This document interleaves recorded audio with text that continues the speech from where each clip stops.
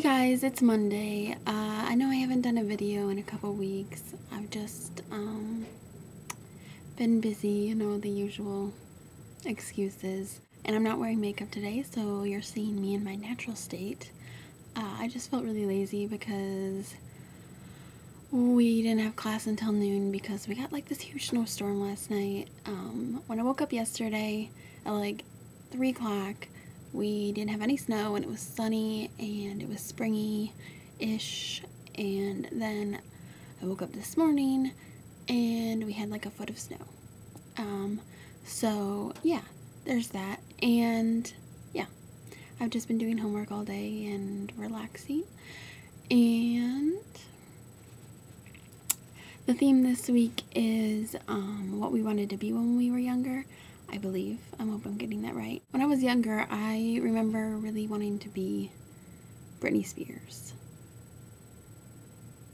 Not a singer, not famous, just Britney Spears.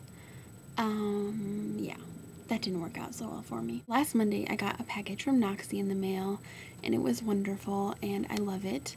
And I think if I move my head right, you'll be able to see what she sent me. Maybe not. Okay, apparently not. She sent me the hat that you saw in one of her videos, um, and also a matching little baggy pouch thing. And I love them, and they match my coat, so that makes it perfect. And also a letter and a signed copy of the Lover's Dictionary and a little mailbox thingy that she said you guys talked about and a letter and I don't know if it's the letter like that we're supposed to all send each other. So I didn't, I'm not reading it, but if I'm supposed to, let me know. Um, but yeah, I'm filming this video with like the last little bits of sunlight left in the day. Well, it's not really sunlight because it's really cloudy and icky, but yeah, the last daylight, I guess. I think that's it for this video, and I'm sorry it was kind of boring, but I need to go back to studying now.